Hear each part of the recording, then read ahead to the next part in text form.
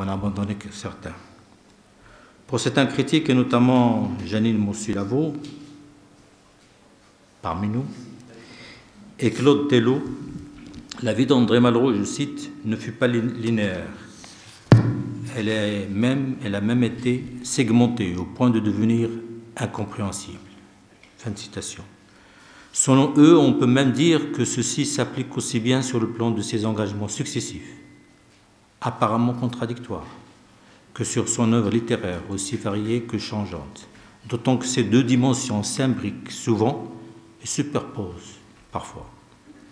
Ainsi, les années 1924 et 25, dans ces années, ces jours en Indochine et en Chine, où on assiste, où il assiste à la grève insurrectionnelle à Canton, puis à celle de Shanghai en 27, de cette période naquit son engagement anticolonialiste qui inspirait ses écrits dans la revue Indochine, puis l'Indochine enchaînée, un engagement qui lui valait une condamnation de trois ans de prison avant que la Cour de cassation n'annulât le jugement.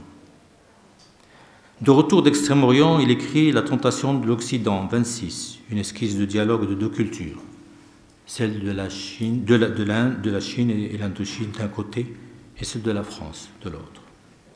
Plus tard, ses ouvrages, Les Conquérants en 27, La Voie royale en 30, La condition humaine, l'espoir 33, ces ouvrages illustrèrent la, valeur, la ferveur révolutionnaire et littéraire d'André Malraux. Il devint en 1935 un ardent défenseur des compagnons de route du Parti communiste sans pour autant démontrer une réelle adhésion au marxisme et encore moins au stalinisme. Cette même liberté d'esprit d'André Malraux, en m'attacher aux valeurs de fraternité et d'unité, défenseur des droits, va l'amener à prendre une stature spectaculaire lors de ses engagements militants aux côtés de des révolutionnaires espagnols quand il s'engagea avec héroïsme dans l'aviation dont il fut le fondateur, l'organisateur et l'acteur, engageant sa crédibilité auprès de pays américains qu'il sollicita pour soutenir matériellement la révolution espagnole, et participant avec courage et héroïsme au combat contre l'aviation franquiste. Toujours mu par ce sens de défense des droits, et encouragé par le succès aussi de son ouvrage Les Conquérants, André Malraux et de toutes les luttes révolutionnaires, et s'associe à plusieurs actions militantes dont on peut citer son développement, son déplacement à Berlin pour la défense de Dimitrov, emprisonné par les nazis, son voyage à Moscou pour s'adresser aux écrivains soviétiques, sans pour autant qu'on puisse déceler chez lui une quelconque adhésion aux thèses marxistes, son animation à Paris du groupe d'intellectuels antifascistes. Cette évolution politique traduit plus son attachement à un certain nombre de valeurs et démontre la sincérité de ses engagements à un moment donné de sa vie que des reniements à ses profondes convictions politiques, comme le pensent certains.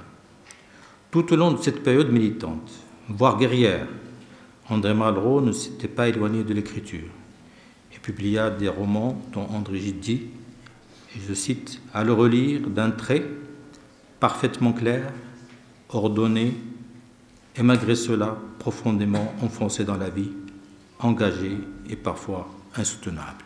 Fin de citation. Ce jugement s'applique bien à de nombreux écrits, tels que Le temps du mépris, dénonçant le système répressif nazi, L'espoir et la condition humaine, semblant épouser les tumultes de la guerre d'Espagne, et bien d'autres ouvrages littéraires et cinématographiques. Abandonnés réalisés sur lequel vous aurez certainement le temps de débattre et d'aborder les circonstances, d'en préciser les contenus et d'en déceler les significations historiques et culturelles. Mesdames et messieurs, peut-on s'arrêter à ces quelques références presque caricaturales? Tellement l'homme est complexe, tellement son œuvre politique est multiple, et tellement ses engagements déroutants.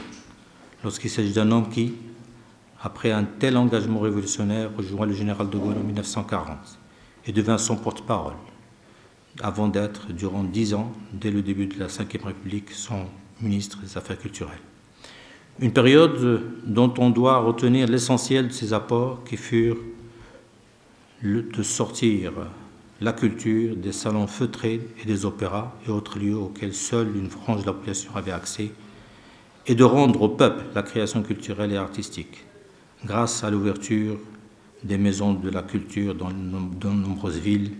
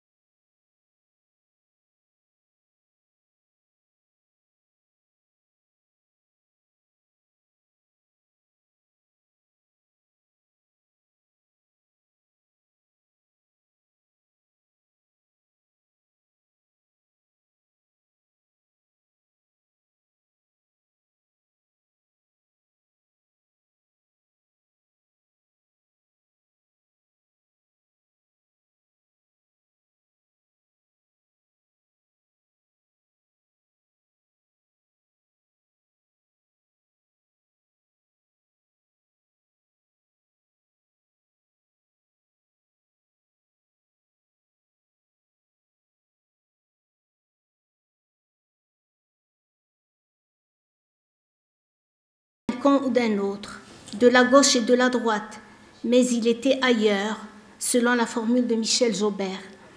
Dès son jeune âge en Indochine, il avait mesuré ce périple frappant tous les hommes, la négation de la dignité qui est en eux. Il l'avait d'ailleurs écrit en ces termes Nous voulons retrouver l'homme partout où nous avons trouvé ce qui l'écrase. C'est cela le sens profond de son œuvre et de sa vie. Malraux ne sert ni une idéologie, ni un système politique. Il y avait chez lui autre chose, un humanisme dont on a besoin aujourd'hui, un humanisme qui surclasse et transcende les écoles, les dogmatismes, les clivages et les époques. Malraux, pour finir, c'est l'homme d'une histoire destin. C'est l'homme qui voulait donner de l'espoir à la condition humaine, pour reprendre les titres de ses livres. Je vous remercie.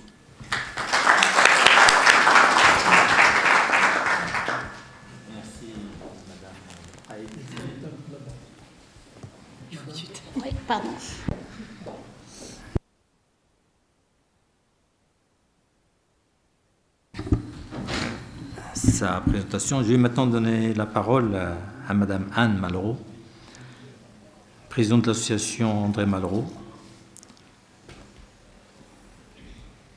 La parole est à vous. Merci. Monsieur le Président, Monsieur le Ministre, Monsieur le secrétaire perpétuel de l'Académie du Royaume et Madame la vice-présidente de l'association André Malraux, ainsi que tous ceux qui sont ici, euh, la belle jeunesse du Maroc qui est venue et que je salue aujourd'hui. Euh, je suis très heureuse de me trouver ici parmi vous. Je n'ai pas euh, mon texte que j'avais préparé et ça n'est pas grave du tout parce que mon ordinateur m'a lâché, voilà les merveilles de la technologie actuelle. Donc je vais m'adresser à vous d'une manière finalement très simple et très directe. Euh, je remercie énormément l'Académie royale du Maroc de nous permettre aujourd'hui d'être ici.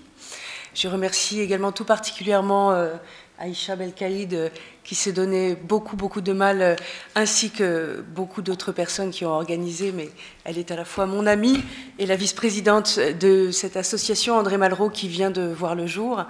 Donc, je vais essayer de vous parler d'une manière très simple, finalement, et euh, surtout avec le cœur, un certain nombre de choses qui me paraissent aujourd'hui très importantes.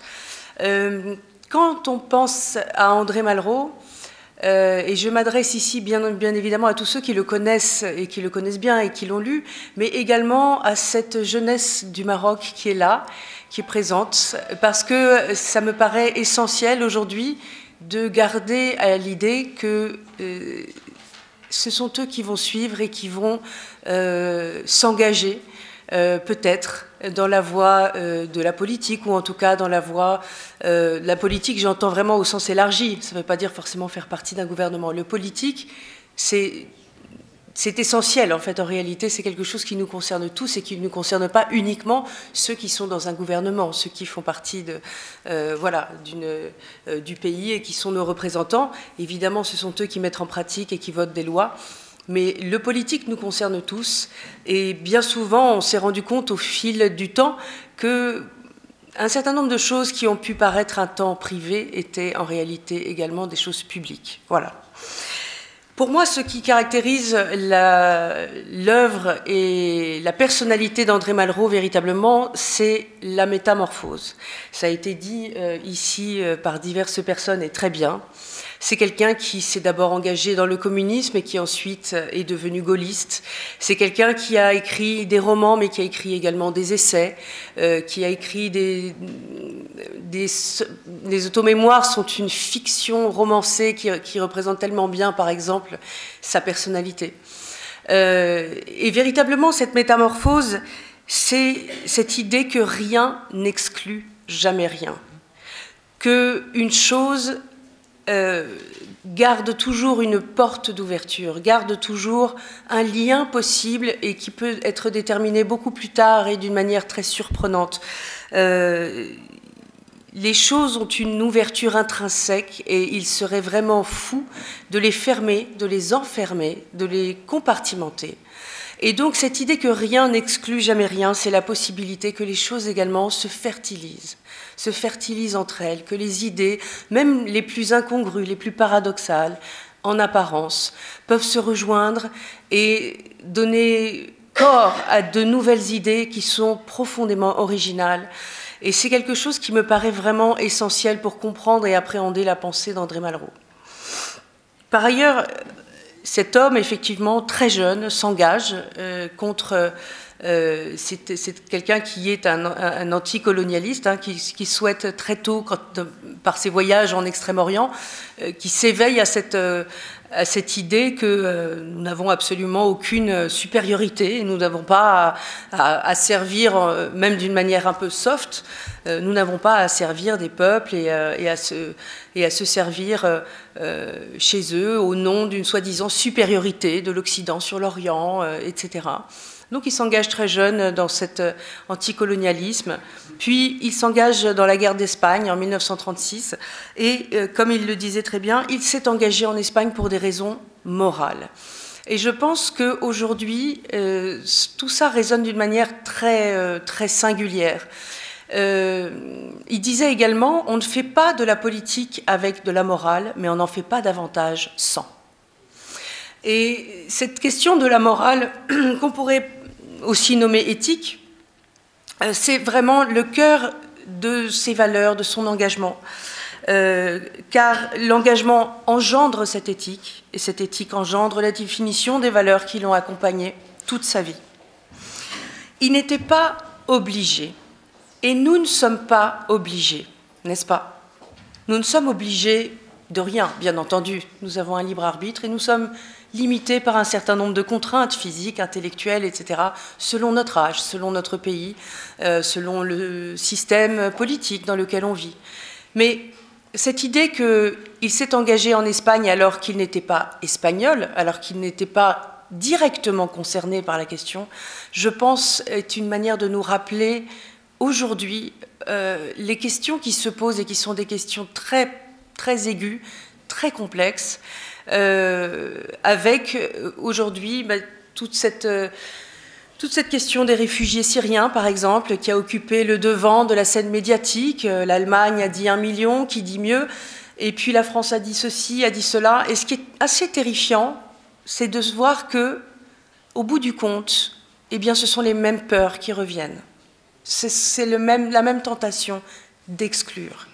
Et si André Malraux, pour moi, incarne quelque chose, j'y reviens, c'est le fait que rien n'exclut jamais rien et rien ne doit jamais rien exclure. Et par rapport à ça, et je m'adresse plus particulièrement à cette jeunesse qui est là parmi nous aujourd'hui, je vous invite, je vous invite vraiment du fond du cœur à vous engager. Il ne faut pas attendre que l'occasion d'absolu se présente. Et à ce moment-là, j'ai envie de dire, il y a une sorte de facilité ah, c'est proche de ce que je pense, c'est proche de quelque chose, d'un contexte que je connais, alors là, bon, d'accord, je peux m'engager, je vais m'engager à fond. D'accord, très bien. Mais l'exigence d'absolu d'un homme comme André Malraux, elle doit vous inviter à vouloir cet absolu tous les jours, à chaque instant de votre vie, et de vous autodéterminer, de vous autodéterminer, de décider par vous-même, d'aiguiser votre sens critique, et de décider par vous-même ce que vous voulez faire de votre vie. Et comment votre présence au monde, elle est singulière, elle est unique, elle est incomparable. Et comment à partir de ça, vous pouvez entrer en résistance contre un certain nombre de choses, vous engager, y compris pour des choses où personne ne vous verra, où vous n'aurez pas de reconnaissance immédiate, mais où vous sentez au plus profond de vous-même que c'est juste, que c'est quelque chose qui vous, qui vous grandit en tant qu'être humain.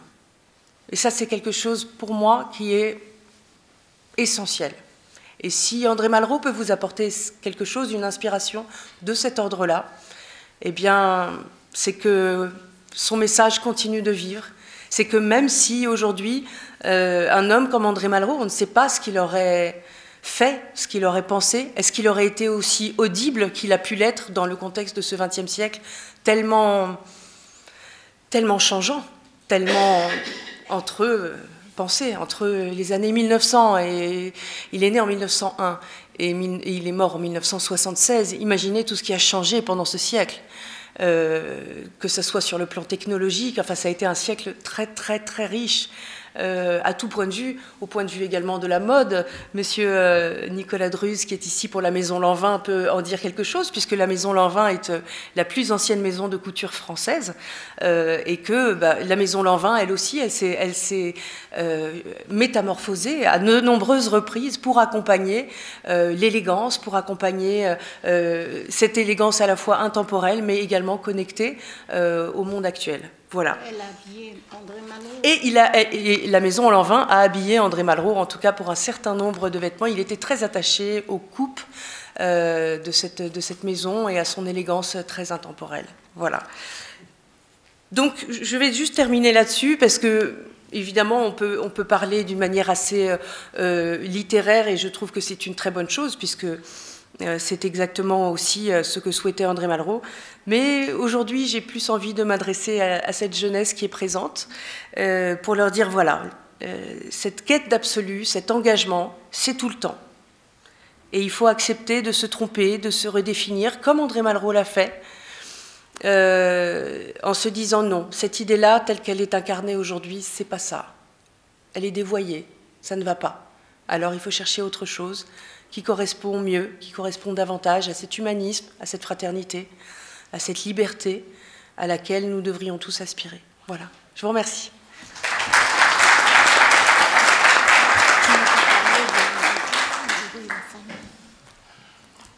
Merci, Madame Anne Malraux, pour ce témoignage si profond et si proche d'entre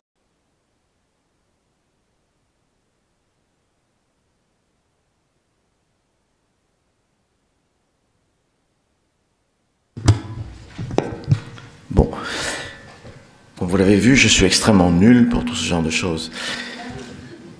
Il est d'usage, lorsqu'on fait des discours, de saluer toutes les personnes qui ont des titres. Mais ici, il y a tellement de personnages éminents que ça me fait penser au dîner de tête qui ouvre parole de Prévert. Et donc, pour euh, éviter cela, permettez-moi de m'adresser à vous en vous donnant le titre le plus important qui soit dans ce royaume du Maroc qui est si généreux et si ouvert. Chers amis, nous sommes tellement imprégnés, amoureux et dépendants de l'art qu'on ne s'en rend plus compte. On peut le constater de manière tonitruante, comme Dostoevsky, pour qui seul l'art sauvera le monde. Vous constatez, comme Flaubert, le seul moyen de n'être pas malheureux, c'est de s'enfermer dans l'art et de compter pour rien tout le reste. Beaucoup plus simplement, on peut être sensible à un humble bouquet que des mains anonymes ont rendu touchant parce qu'elles ont su y ajouter les taches de couleur et l'harmonie qui nous enchante. L'art dans le quotidien nous entoure sans cesse. Et d'ailleurs, pour parler comme Georges Braque, avec l'âge, l'art et la vie ne font plus qu'un. Pourtant, je me garderai bien de donner une, définition de l'œuvre d'art. C'est impossible. Quel critère commun y a-t-il entre un tableau de Rembrandt et un tableau de Picasso? Entre une symphonie de Mozart et les fresques du Giotto. Entre une statue précolombienne et une mélodie d'Um Keltum. Définir une œuvre d'art est encore plus difficile avec l'apparition de l'art moderne. Devant l'Olympia de Manet, les critiques faisaient la tête, mais aucun ne mettait en doute qu'il s'agissait d'une peinture. Mais quand une vingtaine de sculptures de Brancusi débarquent à New York en 1926, où les œuvres d'art entrent au de droit, les douaniers les taxent au motif qu'il s'agit d'objets manufacturés. Ils ne reconnaissent pas dans ces objets les caractéristiques communément admises pour qu'ils puissent être considérés comme des œuvres d'art. Brancusi, alors traité comme l'équivalent d'un fraiseur métallurgiste, est aujourd'hui considéré comme le plus grand sculpteur moderne. Quand présente son tableau Impression, soleil levant, dans une exposition réunissant ses amis, un critique s'écrit Ce ne sont pas des peintres, ce sont des impressionnistes. Pensant ainsi jeter l'opprobre sur ce groupe. On sait ce qu'il a fait ensuite de ce terme. L'école moderne ne s'est pas contentée de bouleverser les critères esthétiques. Elle met en échec, sans relâche, les définitions les plus assurées. En outre, le happening, la controverse, fait maintenant partie de la création artistique. Comme le déclare Harold Rosenberg, une peinture ou une sculpture contemporaine est une espèce de centaure, moitié matériel artistique, moitié mot. C'est exactement ce qui se passe de nos jours, qu'il s'agisse d'Andy Warhol ou de Jeff Koons. Vous savez, il n'existe aucune mauvaise raison d'aimer une statue, un tableau ou une pièce de musique, à condition de répudier habitudes et préjugés. On ne doit pas aimer une œuvre parce qu'elle est comme il faut, ni la condamner parce qu'elle représente un objet familier de manière inattendue ou insolite. Car si les arts veulent un cœur ardent, il leur faut aussi un esprit libre. Figuratif ou pas, survient le moment où une œuvre crée en nous un choc esthétique ou émotionnel. Malraux ne croit pas que nous découvrons le chef-d'œuvre avec stupéfaction. Au contraire, nous le reconnaissons. Le chef-d'œuvre inconnu s'ajoute à nos chefs-d'œuvre intérieurs. Il est complice, il est familier. C'est pourquoi il faut prendre garde à ne pas tomber dans le conformisme. On ne doit pas aimer un tableau uniquement parce qu'il ressemble à ce que l'on aime dans la réalité. Pour parler comme Flaubert, l'art ne réclame ni complaisance, ni politesse, rien que la foi la foi toujours et la liberté. Nous avons tous tendance à admettre comme beau des formes et des couleurs conventionnelles que nous connaissons et que nous reconnaissons. Mais supposez que le médiocre photographe que je suis prenne une photo de nous tous, même comme vous l'avez vu, si je suis extrêmement nul pour tous ces problèmes techniques. Cette photo reproduira fidèlement la réalité, mais n'aura aucun intérêt esthétique. Elle ne deviendra originale que si un œil avisé sait utiliser l'éclairage, le cadrage, voire la mise en scène euh, pour changer la réalité. Et donc montrer un, un regard neuf sur un sujet connu. C'est-à-dire que ma photo n'aura d'attrait que si elle s'appuie sur la réalité mais pour en faire autre chose. Après tout, pourquoi faudrait-il que le ciel soit toujours bleu et l'herbe verte? Quand le poète Paul Éluard dit La terre est bleue comme une orange, est-ce que c'est faux ou est-ce que c'est beau? Cela fait un peu penser au psychanalyste Lacan. Je dis toujours la vérité. Pas toutes, c'est impossible. Mais c'est justement par cette impossibilité que ma vérité colle au réel. S'intéresser à l'art demande donc un effort et une éducation pour aider l'œil à s'ouvrir et non les langues à bavarder. S'agiter à tort et à travers sur l'art est facile. Porter sur une œuvre un regard acéré mais bienveillant est chose beaucoup plus difficile, mais cela entraîne une récompense dont le caractère imprévu n'est pas le moindre attrait. Or, la tâche est d'autant plus ardue qu'il n'existe aucune caractérisation possible de l'œuvre d'art. Il n'y a que des artistes. Il n'y a que des artistes, et ceux-ci sont des êtres humains qu'ils savent qu'ils seront confrontés à la mort. Ce sont même les seuls animaux qui en sont conscients.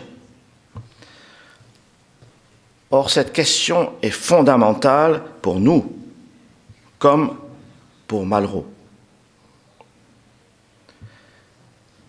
Que philosopher, c'est apprendre à mourir, nous enseigne Montaigne. Et comment ne pas citer Pascal? L'homme n'est qu'un roseau, le plus faible de la nature, mais c'est un roseau pensant. Il ne faut pas que l'univers entier s'arme pour l'écraser. Une vapeur, une goutte d'eau suffit pour le tuer. Mais quand l'univers l'écraserait, l'homme serait encore plus noble que ce qui le tue, parce qu'il sait qu'il meurt. Et l'avantage que l'univers a sur lui, l'univers n'en sait rien. Face à la mort, Malraux donne deux réponses, l'action et la création. Si son œuvre romanesque, vous l'avez souligné, la condition humaine, la voie royale, les conquérants, exalte l'action comme moyen de lutter contre la fin ultime, ce sont les écrits sur l'art qui montrent comment il pense approcher l'énigme de la création il écrit dans la tête d'obsidienne L'art est la présence dans la vie de ce qui devrait appartenir à la mort. Pour l'écrivain, l'art n'est pas la recherche de la beauté, et certainement pas le respect de certaines règles, mais la seule chose capable de vaincre le temps qui passe. Je ne crois pas du tout qu'il y ait des valeurs d'usage de l'art. Nous les cherchons toujours. Mais l'art est le seul langage égal à la mort. Il ne reste rien d'Alexandre, hormis ses portraits, souligne-t-il, avant d'ajouter. J'ai tenté de rendre intelligible le monde pour la première fois victorieux du temps et de décrire le pouvoir peut-être aussi vieux que l'invention du feu est celle du tombeau auquel il doit l'existence. Aux philosophes existentialistes qui prenaient avec Sartre et Heidegger que l'homme est un être pour la mort, Malraux rétorque que l'homme est un être contre la mort. En pénétrant dans l'intemporel, en permettant à l'homme de laisser une trace vivante, l'homme échappe au néant qui est notre sort à tous. La création est l'arme que l'homme utilise dans la lutte qui nous, oppose jour après jour au chaos. Cependant, l'art échappe au temps, non parce que l'œuvre d'art est immortelle, mais parce qu'elle se métamorphose. Écoutons Malraux. L'aventure humaine ne se maintiendra qu'au prix d'une implacable métamorphose. Sans elle, les civilisations sont vaines, car dues au hasard dans un monde fait d'oubli. La métamorphose, c'est ce qui nous permet de lutter contre l'oubli, de donner une signification à un monde fait de hasard. La métamorphose est ce qui transforme le destin en anti-destin. De ce fait, le critère de l'art n'est pas la beauté, mais ce que Malraux nomme l'imaginaire. En quelque sorte, l'imagination d'hier mise au service de demain. Ce musée imaginaire est propre à chacun, mais il puise dans un fond universel dans lequel chacun retrouve sa part d'éternité.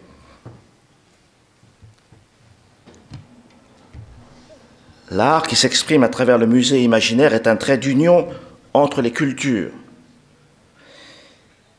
Il dit que la langue de Rembrandt, de Goya, de Picasso, des précolombiens, de Sumer, de l'Asie, de tout le monde arabe, de l'Afrique peut être comprise par tous, contrairement à nos langues nationales qui nous limitent.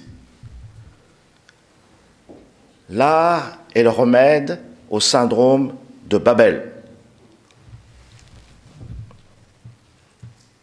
Il est énoncé dans la métamorphose des dieux que les hommes pour qui l'art existe ne s'unissent point par leur raffinement ou leur éclectisme, mais par leur reconnaissance du mystérieux pouvoir qui transcende dans l'histoire, grâce à des moyens qui ne sont pas ceux de la beauté, représente à nos yeux telle peinture préhistorique, dont la magie n'explique pas les formes, les statues sumériennes, qui ne connaissent guère, et la dame d'Elche, dont ils ignorent tout. Puisque Malraux explique l'art par notre confrontation avec la mort, on comprend son acharnement à déceler dans l'art une, signification qui dépasse la pure esthétique. Il note si les dieux n'ont pas créé l'homme immortel, celui-ci dispose d'un moyen de prouver qu'ils ont été timides et par ce biais de lever la malédiction. La thèse principale de la métamorphose des dieux et du musée imaginaire est que tout objet peut devenir un objet d'art, quelle que soit son origine ou son époque, s'il entre en résonance avec une part mystérieuse de nous-mêmes. Évidemment, nous ne comprenons pas ce que ressentait l'homme du Moyen Âge, même pas celui du XIXe siècle. Mais chaque époque comprend à sa manière l'œuvre d'art. Et celle-ci se métamorphose de siècle en siècle en disant à chaque fois autre chose. Qui ne ressent pas de l'émotion devant Volubilis est à plaindre. Qui n'est pas troublé par l'Ixus ou Banassa est aveugle. Mais le plus modeste fait là apprécie l'arabesque, la calligraphie ou les motifs floraux, sans vraiment savoir que le Maroc, pendant six siècles, a créé un art hispano-mauresque magistral.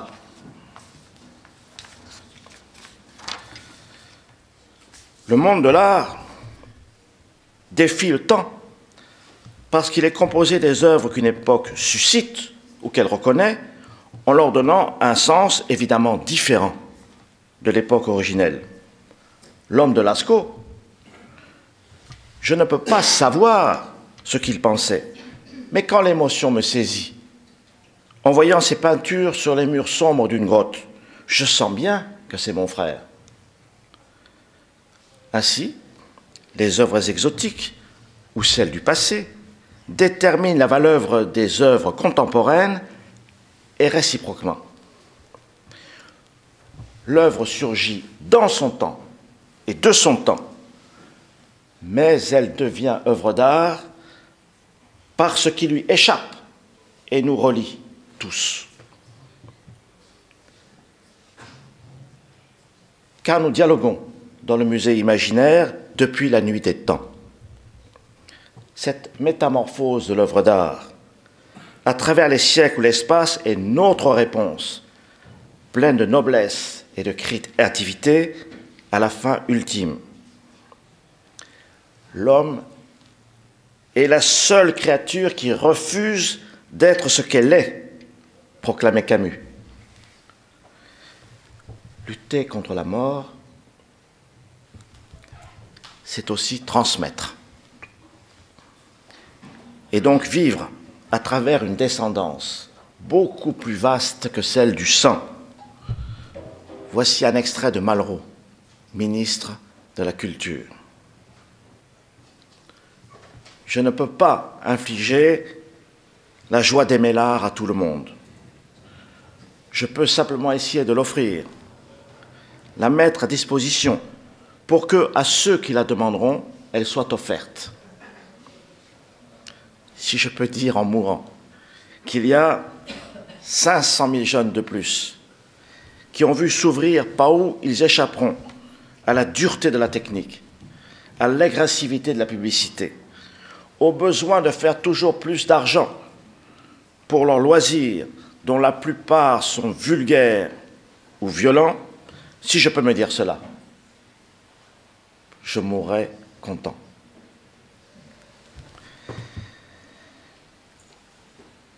au début des années 60, l'UNESCO a lancé une campagne de sauvegarde internationale pour empêcher des monuments de Nubie d'être inondés par les eaux du lac Nasser. Des monuments admirables, comme le temple de Ramsès II à Abu Simbel, ou le sanctuaire d'Isis à Philae, furent ainsi démontés, pierre par pierre, transportés ailleurs et sauvés des eaux. Voici ce que déclare Malraux en s'adressant au Nil, le père des fleuves.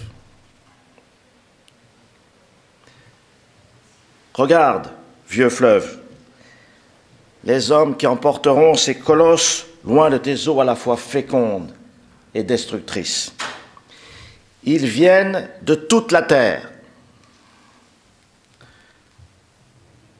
Que la nuit tombe, et tu reflèteras une fois de plus les constellations sous lesquelles Isis accomplissait les rites funéraires, l'étoile que contemplait Ramsès. Mais le plus humble des ouvriers, qui sauvera les effigies d'Isis et de Ramsès, te dira ce que tu sais depuis toujours et que tu entendras pour la première fois. Il n'est qu'un acte sur lequel ne prévalent ni la négligence des constellations, ni l'éternel murmure des fleuves. C'est l'acte par lequel l'homme arrache quelque chose à la mort. Je termine par ce qui ouvre le dernier tome du miroir des limbes.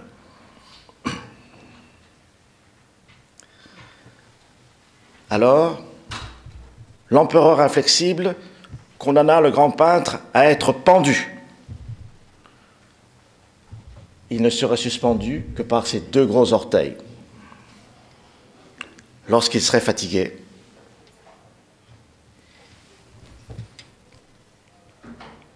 il ne se soutint que d'un. De l'autre, il dessina des souris sur les sables. Il les dessina si bien qu'elles prirent vie, montèrent le long de son corps et rongèrent la corde. Et comme l'empereur inflexible avait dit qu'il viendrait quand le grand peintre fléchirait, il partit à petits pas. Il emmena avec lui les souris.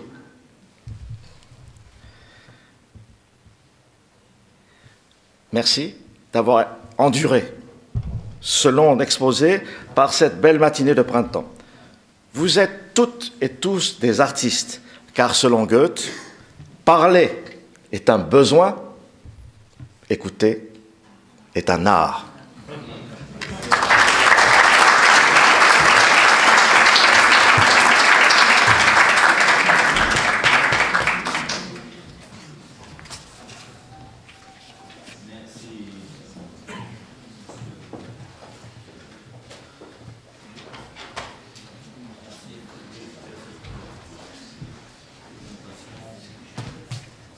À la fois artistique, poétique, philosophique, et qui nous a rapprochés davantage d'André Malraux et de la compréhension de la signification de l'art et du rapprochement de l'art à la philosophie. Merci. Je vais maintenant, si vous voulez bien, euh, peut-être avant de demander à, M. Alain Malka, Melka. Ah, il n'est pas là. D'accord. Donc, alors, euh, si vous voulez bien, je ne vais pas du tout essayer de faire euh, ni un résumé, ni un condensé, ni une, de tout ce qui a été dit. Tout ce qui a été dit a été dense. Tout ce qui a été dit a été, était juste. Tout ce qui a été dit correspond parfaitement à la réalité d'André Malraux. Je crois que moi je retiendrai deux ou trois idées principales. La première, euh, c'est le message très actuel d'André Malraux.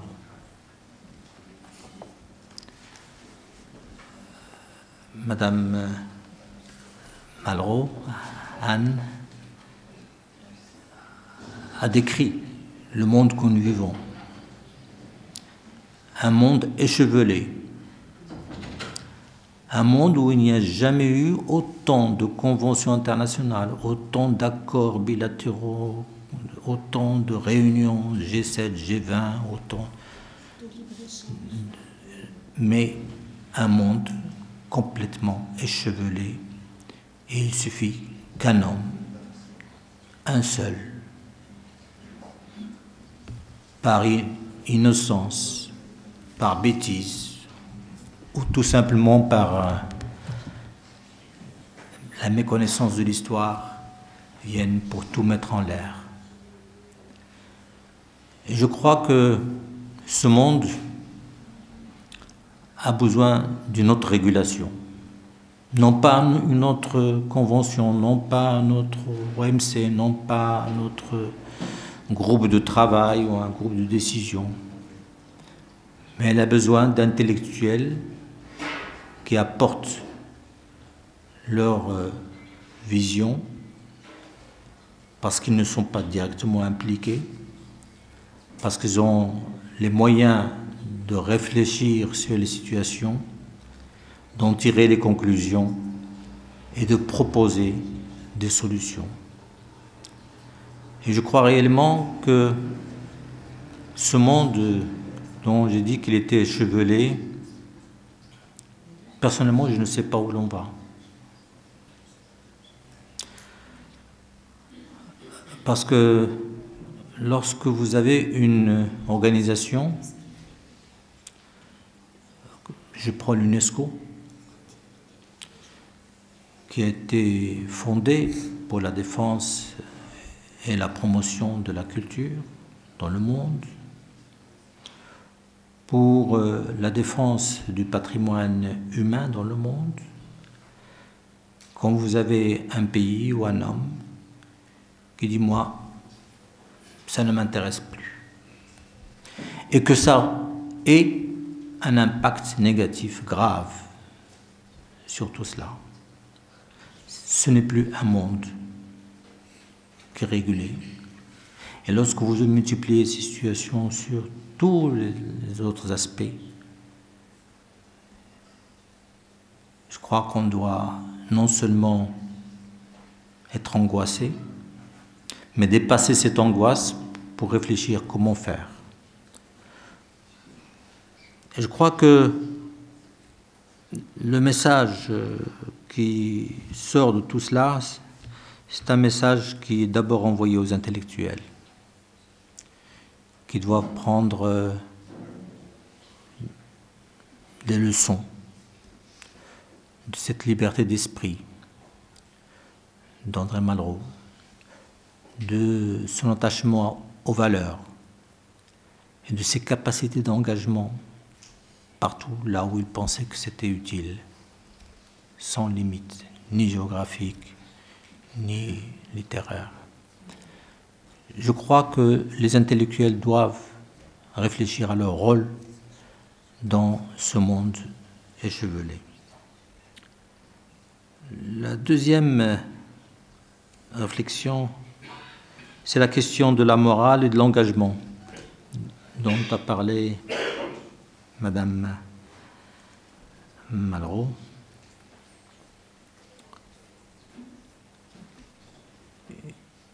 L'engagement sans morale est, tout simplement une hérésie. Parce qu'il y a quelque chose qui doit réunir les hommes, où qu'ils soient, c'est l'éthique, c'est la morale. Et si chacun s'engage à sa manière, et que son engagement dépend de sa force ou de la force de son pays, c'est la fin du monde. Deuxième idée que je voudrais sortir de là, c'est la question de l'exigence de l'absolu et de l'autodétermination. Là aussi. Si on se contente de voir les choses défiler, nous risquons de, de perdre notre liberté. Et enfin, un message très important aux jeunes. Plus que jamais, la jeunesse doit comprendre que la formation ne se limite pas aux simples compétences techniques, mais que la lecture, la littérature, les arts sont une composante fondamentale et doivent être une composante fondamentale de l'être humain. Et j'en profite pour euh, rappeler malheureusement que de plus en plus la jeunesse est attirée par euh, l'instantané. Et l'instantané, avec les moyens digitaux dont nous disposons, c'est du vide. Et pas du vide. Plus grave, c'est du n'importe quoi. Et je crois que cette question est aggravée par non seulement la multiplication des réseaux sociaux, mais aussi par la multiplication de chaînes d'infos continues qui veulent être tellement collées à la réalité de l'instant euh, qu'on tombe dans ce, que, ce qui est appelé maintenant les fake news et sur lesquels on essaie de discuter. Et ceci m'amène à demander à la jeunesse plus qu'à tout le monde d'être très prudente dans non pas l'utilisation des produits modernes de communication, mais d'avoir l'esprit critique de ce qui s'y fait, ce qui s'écrit. Et je crois que si les jeunes qui sont avec nous prennent conscience de cette réalité, n'auront pas perdu leur matinée avec nous. Je vous remercie.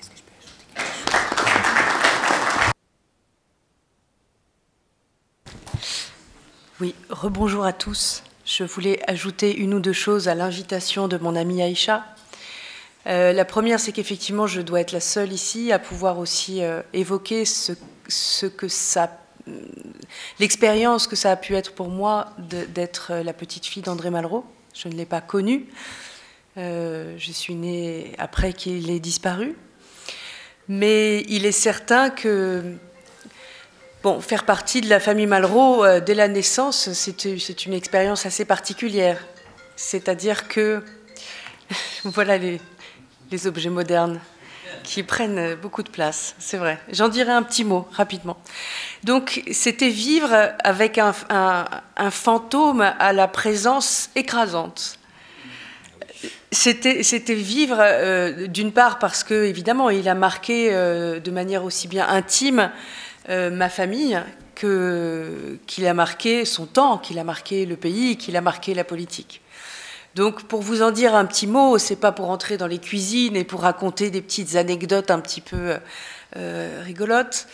C'est plutôt pour vous dire que, en ce qui me concerne, je, je considère ça comme une chance incroyable, puisque c'est quelque chose qui m'a amené à être dans un constant questionnement. Euh, et même, je le dirais plus, d'avoir un devoir de questionnement. Euh, je crois qu'effectivement, euh, depuis que je suis née, j'ai cette conscience que j'ai une responsabilité. Et ça m'a longtemps effrayée. J'ai mis un certain temps à m'auto-déterminer par rapport à ça, parce que c'est pas si facile. Quand quelqu'un est passé et qu'il a marqué à ce point son temps, aussi bien la littérature que la politique, que le monde de l'art, c'est quand même pas rien. Quelqu'un que de mon vivant, j'ai vu entrer au Panthéon, qui est quand même aux, grands hommes la patrie reconnaissance, et depuis peu aux femmes aussi. C'est bien que les femmes commencent un petit peu à rentrer dans l'humanité vraiment. Il faut que ça continue. Euh, mais c'est quelque chose quand même d'assez, écrasant, enfin potentiellement écrasant. Donc je suis pas là pour me plaindre de ça, pas du tout. Mais enfin, il m'a fallu un certain temps pour, euh, pour me déterminer par rapport à ça, et c'est juste, c'est normal. Et c'est vrai que euh, depuis peu, avec la rencontre notamment d'Aïcha euh, et d'autres personnes, j'ai souhaité créer cette association André Malraux qui est vraiment toute jeune, qui, existe depuis le mois de décembre et pour laquelle cet événement qui nous réunit tous aujourd'hui est la première manifestation à laquelle elle est associée. Donc euh, c'est vraiment un, grand honneur et un grand plaisir pour moi d'ouvrir cette euh, cette association par la tenue de ce colloque qui était prévu de longue date et, euh, de pouvoir vous présenter cette association à laquelle je, souhaiterais que tout le monde euh, puisse devenir adhérent et participer parce qu'on a besoin de tout le monde, de tous et de toutes pour faire ensemble vivre la mémoire d'André Malraux, pas dans un musée, dans quelque chose de, de, passéiste, pas, pas, dans quelque chose qui regarde vers le passé en disant c'était mieux avant, mais au contraire en, étant, en mettant le questionnement au cœur de, euh, de, notre, de notre réflexion, au cœur de nos vies. Ça, c'est vraiment quelque chose de très important. Pourquoi? Parce que je considère que nous avons un devoir en tant qu'être humain. Nous avons des capacités cognitives exceptionnelles et nous avons la possibilité d'en faire quelque chose de terrible, quelque chose qui exclut, encore une fois, quelque chose qui massacre, quelque chose qui nie, ou nous avons la possibilité d'en faire quelque chose de merveilleux, quelque chose qui relie, quelque chose qui nous fait nous sentir euh, plus grands que nous-mêmes, mais grand et confortable, pas grand et maladroit. Et si maladroit, pourquoi pas également Donc nous avons un devoir en tant qu'être humain de nous déterminer par rapport à un certain nombre de choses, même si c'est difficile, même si nous tâtonnons, même si ça n'est pas toujours euh, évident. Et je voulais rebondir sur ce que euh, Monsieur le Président de séance a dit sur les objets connectés, etc., dont je vois que certains jeunes ici, mais aussi des moins jeunes, euh, nous en avons tous dans nos poches, j'ai moi-même le mien. Il y a peut-être une question à se poser. Moi, j'aime bien poser les questions comme ça. Alors, que veut cet objet de moi? Que veut cet objet de moi? Est-ce qu'il veut que je sois libre? Est-ce qu'il veut que je sois sensible? Est-ce qu'il veut que je sois sensé? Ou est-ce qu'il veut que je sois son esclave? Que je revienne à lui alors même que je ne l'ai pas décidé il m'est arrivé moi-même, et je partage cette expérience avec vous, d'allumer mon portable alors que je ne savais pas du tout encore ce que j'allais faire sur mon portable, ni si j'allais chercher une page. Je ne sais pas si ça vous est arrivé. C'est devenu tellement automatique que c'est quasiment greffé à nos mains. Donc, c'est très important de se dire que cet objet-là, nous devons pouvoir nous en détacher, pas pour le juger ou le catégoriser définitivement comme bon ou mauvais, mais simplement pour dire ça doit être un moyen, ça ne doit pas être une fin. Et c'est ça la petite subtilité, la petite nuance qui nous permet de rester attachés au monde sensible, à ce qui fait que vous êtes tous ici présents uniques, je le répète, incomparables. Et donc, ne vivez pas comme des automates. Et ça, je l'ai appris aussi en étant une Malraux. Ne vivez pas comme des moutons, ne vivez pas comme des automates. Comme si chaque chose allait effacer l'autre dans un oubli constant. Et que restera-t-il de tout ça à la fin? Est-ce que cet objet-là, il va se souvenir de vous? Pas du tout. Poursuit sa vie comme ça, euh, aveugle, dans, dans ses capacités technologiques. Il n'a pas de conscience. Mais vous, vous avez une conscience. Et cette conscience-là, encore une fois, c'est pas seulement quand on est sûr qu'on doit l'exercer, c'est aussi quand on est dans cette zone un peu trouble, dans le trembler, la fugacité de la vie. Voilà. Donc je vous encourage véritablement à vous questionner, à développer votre esprit critique. Et on peut le faire à tout âge, mais plus particulièrement quand on est jeune. Vous avez l'avenir devant vous. Vous avez une possibilité de devenir vous-même. Voilà. Et ils ont des problèmes de vous. C'est un peu décousu, mais enfin voilà, j'improvise et, euh, et voilà. Et je, vous redis, euh, aujourd'hui, c'est vraiment mon privilège et ma joie que d'être ici et de pouvoir aujourd'hui m'engager véritablement en pleine conscience et en étant dans la clarté, dans le chemin creusé par mon aïeul et pas parce que c'est mon aïeul et que je porte ce nom. Ce nom, il me donne aussi des devoirs, pas seulement des droits, d'être ici comme ça, de parler, parce que voilà, juste je m'appelle Malraux.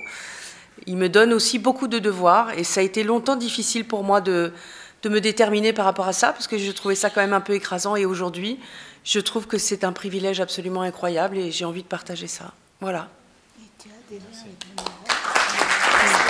Je vous invite à découvrir, pardon, j'ai effectivement pour cette occasion, je suis photographe, euh, entre autres choses. Moi aussi, je fais beaucoup de choses dans ma vie. Donc je pense que j'ai dû, d'une certaine manière, euh, euh, hériter également de ce goût de la métamorphose d'André Malraux. Alors je vous invite, je ne sais pas si vous avez vu les panneaux avec les photographies en couleur. J'ai une longue histoire d'amour avec le Maroc. J'ai été élevée, bien sûr, par mes parents, mais par une Marocaine depuis ma naissance, depuis l'âge de six mois. J'ai été plein de fois au Maroc. J'ai fait plein, plein, plein de photos.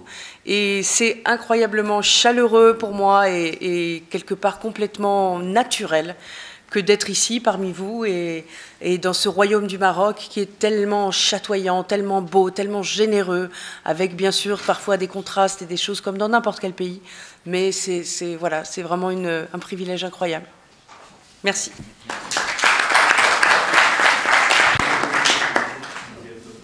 On peut peut-être donner la parole à, quelques collègues, voire quelques jeunes qui voudraient réagir. Pardon?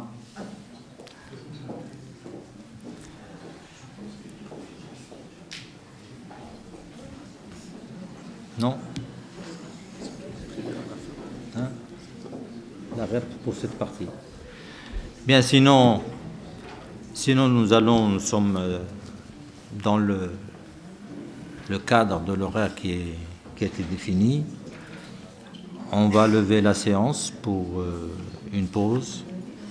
Mais je voudrais auparavant adresser en votre nom tous mes félicitations aux organisateurs mais il y en a deux dont on n'a pas beaucoup parlé, qui ont été les chevilles ouvrières euh, de ce colloque. C'est Mohamed Shemi, c'est Mustafa Shemi et Madame Aïcha Belkhaït. Ils ont été d'une efficacité extraordinaire pendant toute la période d'organisation et ils le font en silence. Toutes mes félicitations et mes remerciements au nom de tous.